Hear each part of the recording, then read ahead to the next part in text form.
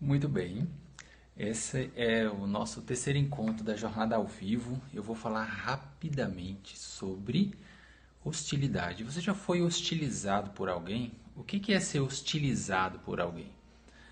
É, de repente você recebeu algum tipo de investida, algum tipo de reação, alguém direciona a ação dela para você de forma hostil, ou seja, de forma agressiva. Por exemplo, de repente você está numa fila de banco e alguém passa na sua frente. Né? E você vai falar com a pessoa, olha, aqui é uma fila, tem uma ordem. Né? E a pessoa de repente vira-se para você e te agride fisicamente. Né? Essa é uma forma de hostilidade, mas tem outras formas de hostilidade. Então você deve ter percebido que o mundo está cheio de hostilidades, né? A gente fica o tempo inteiro vendo essas histórias acontecerem. Quando não acontece com a gente, a gente vê é, histórias acontecendo com outras pessoas. Né? Então, de onde vem a hostilidade? A ideia é a gente conversar um pouco hoje sobre isso. Por que conversar sobre isso? Porque está acontecendo um evento online chamado Jornada Herói vocês podem acessar através do site jornadaherói.com.br, que é um workshop de reprogramação emocional. Então, todos nós temos as nossas questões de vida, as nossas dificuldades de vida. Qual é a sua dificuldade? Você quer alcançar alguma coisa, mas acha que não consegue. Você quer ser é, de tal forma, mas ainda não consegue. Você gostaria de ser mais calmo, ser mais tranquilo, de ter mais recursos financeiros, de ter mais amor, o que, que você quer na vida? Ou gostaria de não ter, eu não queria ter tanta agonia, não queria ter tanto estresse, não queria ter tanta preocupação, não queria que as pessoas me cobrassem. O que, que você quer? Essa é a pergunta que eu te faço e essa é a resposta que eu já trago para você. O workshop Jornada Herói é capaz de resolver todas as situações possíveis, todas as dificuldades emocionais que às vezes as pessoas, a pessoa nem sabe que pode resolver. Através dos 18 exercícios psicoenergéticos que nós vamos fazer lá, você vai conseguir acessar o seu campo emocional e conseguir se transformar numa pessoa melhor. Exercício psicoenergético é uma, uma forma de acesso à mente através do corpo, estimulando pontos psicoenergéticos. Nosso corpo é cheio desses pontos psicoenergéticos. E quando a gente toca, a gente consegue colocar a mente numa determinada posição. É muito simples. E a Jornada Herói propõe esses exercícios psicoenergéticos de forma gratuita. Né? Ela está acontecendo nesse momento. E eu estou fazendo essa live para celebrar o ciclo de treinamentos foram dois treinamentos que nós fizemos na área da hostilidade, né? para transformar hostilidade em entusiasmo. Se você quer ser mais entusiasmado pela vida, basta que você reduza seus níveis de hostilidade. Mas como é que eu faço para reduzir os meus níveis de hostilidade, Léo? Como é que eu faço para saber se eu sou hostil? Né?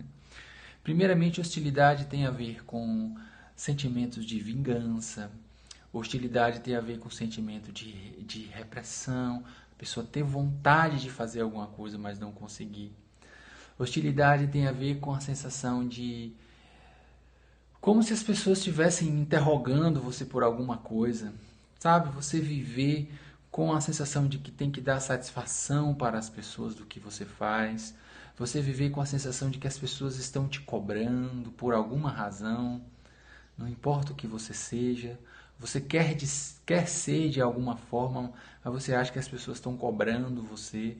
Tudo isso é viver dentro de um ponto de é, hostilidade, de agressividade, de padrões que ferem. Eu sempre digo que a hostilidade é uma forma da gente transformar algo que a gente tem mais profundo que é difícil de acessar, mais complicado de acessar.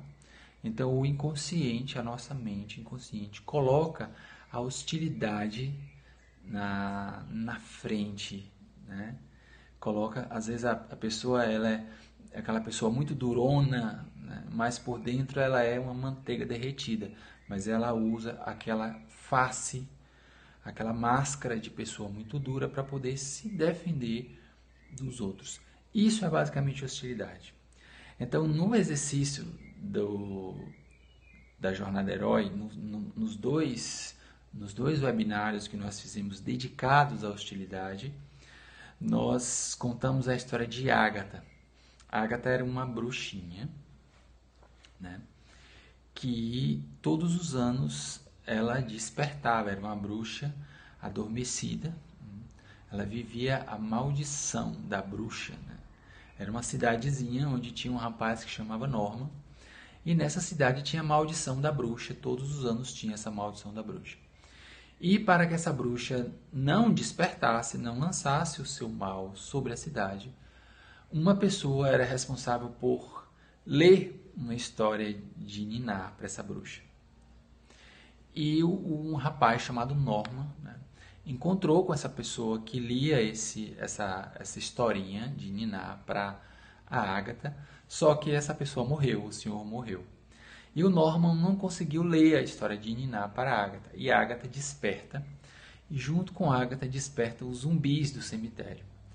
E eles vão fazer uma confusão muito grande na cidade, né? vão aterrorizar a cidade. Só que nesse processo, aí eu vou dar um alerta de spoiler aqui, tá? Para quem não assistiu Paranorman, é, eu vou contar um pouco da história do filme, tá bem? Mas recomendo vocês assistirem depois porque é um filme muito bom.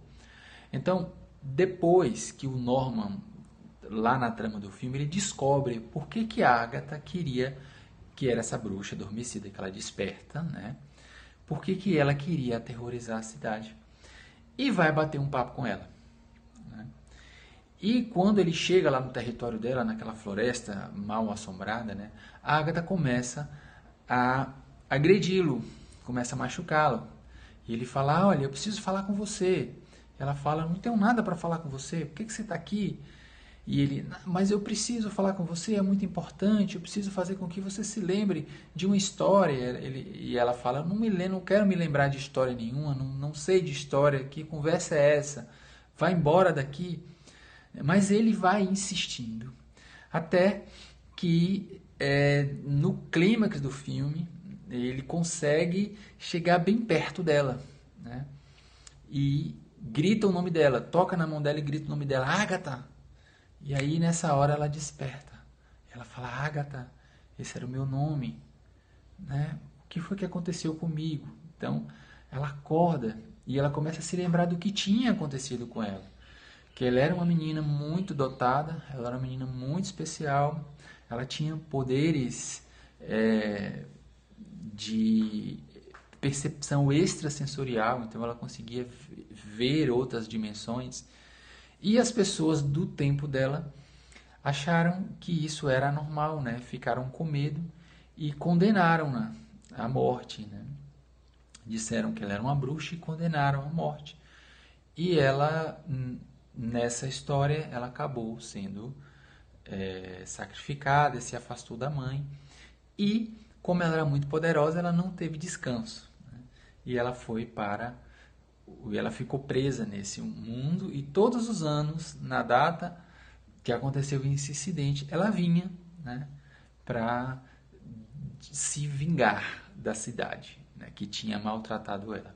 Essa é a história de Agatha e o Norman consegue tocar a, a Agatha consegue se aproximar perto da Agatha e ela acorda ela entende essa verdade. E o que eu quero falar com isso?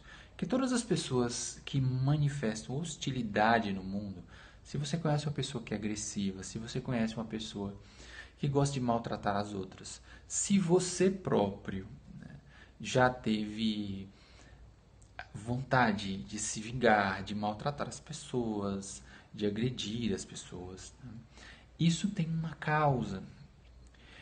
Isso se chama hostilidade e tem uma causa. Então, normalmente, quando nós despertamos dessa causa, nós conseguimos se lembrar que causa é essa. Deixa eu refazer a minha fala. Quando nós despertamos para o fato que existe uma causa, nós nos aproximamos da ideia de encontrar, descobrir que causa foi essa.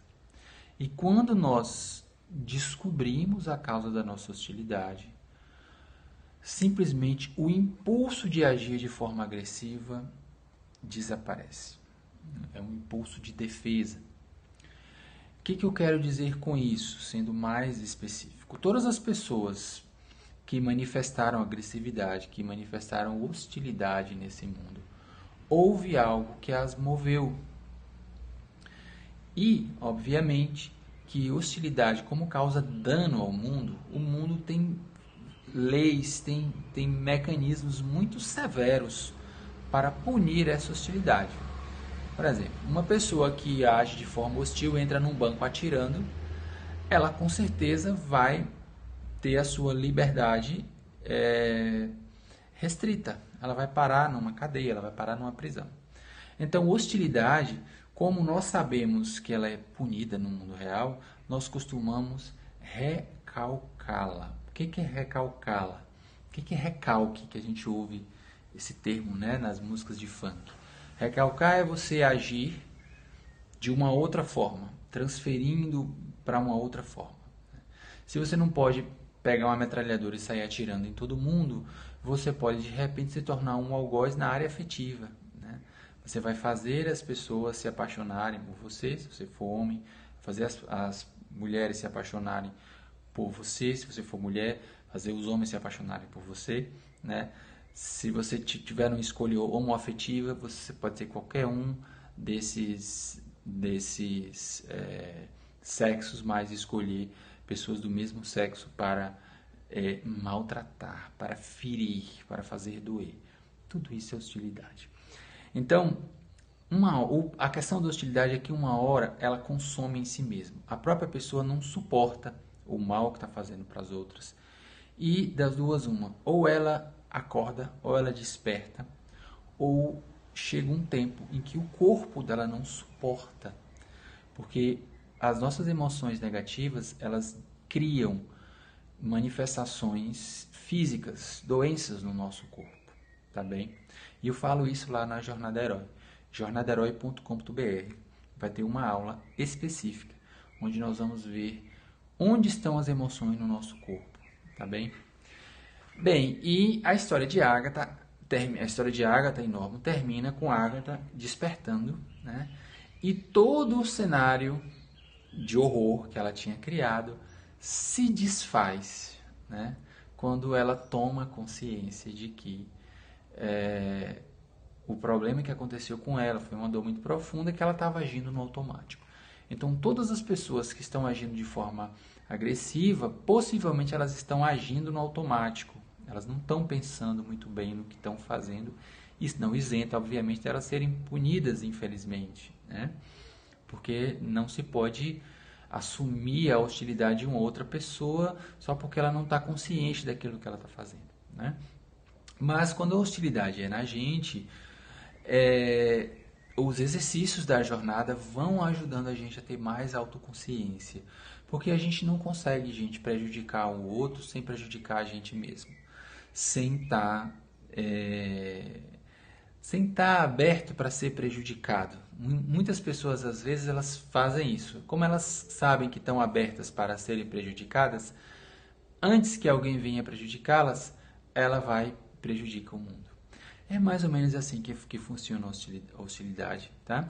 Então, é, existem depoimentos lá, na, na página, lá no site da Jornada Herói sobre hostilidade que eu vou convidar vocês para verem depois, tá certo? É, essas páginas estão sendo preparadas ainda, são páginas de memoriais. Né? É, os treinamentos já, já passaram, já foram exibidos, mas as páginas de, de depoimentos vão ficar no ar, para que, se você, quando estiver assistindo esse vídeo, você conseguir acessar lá no site jornadaherói.com.br. Quem estiver assistindo aqui ao vivo, por favor, se puder mandar uma escrever para mim jornadaherói.com.br. Basta entrar lá e acessar. E lembrando que nós estamos na metade da jornada, tá? São 18 treinamentos, nós estamos no décimo, vamos começar o décimo primeiro essa semana. Eu quero convidar você para ir lá assistir. Vai lá, se inscreve, tem uma caixinha de texto, você vai colocar o seu e-mail e você vai receber todos os avisos de treinamento. Assim que eles estiverem online, você recebe o aviso de treinamento para você assistir, tá? Esse treinamento é baseado no que tem de mais moderno no mundo em termos de reprogramação emocional, é o sistema Body Mind Talking. E ele só precisa de uma coisa: da sua vontade de se transformar. É a partir daí que a jornada começa. Antes disso, não tem muita coisa a se fazer. Então, o meu objetivo com a jornada é ajudar você a se transformar como pessoa, a se melhorar como pessoa, a parar de se punir, a parar de se perseguir, a parar de se machucar, a parar de sofrer. Né? Parece discurso de igreja evangélica, né? Pare de sofrer. Mas é ciência, né? psicologia energética, são técnicas terapêuticas energéticas é, que vão fazer uma diferença muito grande na sua vida, tá? Isso eu garanto assina embaixo e as pessoas que estão fazendo a jornada, que estão deixando depoimentos também, elas estão é, mandando esse feedback para mim e eu estou muito feliz. Então eu quero agradecer aqui de coração, publicamente, neste vídeo ao vivo, aqui da jornada, a todas as pessoas que fizeram o treinamento Mundo Hostilidade e quero dar os parabéns aos resultados que vocês tiveram, né? é, todos os resultados. Quero agradecer também pelos depoimentos que vocês mandaram, tanto no grupo WhatsApp, tanto quanto no site, tá? No site da jornada. E é, encerrar esse ciclo de treinamento do mundo hostilidade aqui oficialmente em 2018. A jornada tem duas vezes por ano, né? E a gente trabalha de forma muito icônica, né? cada grupo emocional. Então, minha gratidão profunda a todos vocês que assistiram o treinamento Mundo Hostilidade. Tá? Convido vocês para assistir o treinamento que vai estar tá no ar essa semana, a partir de amanhã. Treinamento novo lá na jornadaherói.com.br. Assistam lá. E o que mais? Desejar um beijo, um abraço grande. Até a próxima jornada ao vivo. Tá? A jornada ao vivo são treinamentos gravados né, que vão sendo exibidos conforme uma agenda que está lá no site, mas a cada, a cada grupo de treinamentos eu tento, na medida do possível, entrar nas redes sociais para conversar com vocês, para falar é, sobre tudo que está acontecendo na jornada aqui ao vivo, tá? Vocês vão olhar os treinamentos que estão gravados lá, vocês vão pensar que estão numa máquina do tempo, porque eu estou sem barba, estou há dois anos atrás, estou um pouco diferente, mas é o mesmo Leonardo, é o mesmo coração. O coração está um pouquinho melhor, né? Que de lá para cá eu fiz algumas, alguns trabalhos de transformação pessoal, tá bem? Mas olha, um beijo no coração, muito obrigado por estarem seguindo a jornada. Ainda falta, viu? Ainda falta muita história para a gente contar lá e eu estou aguardando vocês. Um beijo, fique com Deus e até lá. jornadaherói.com.br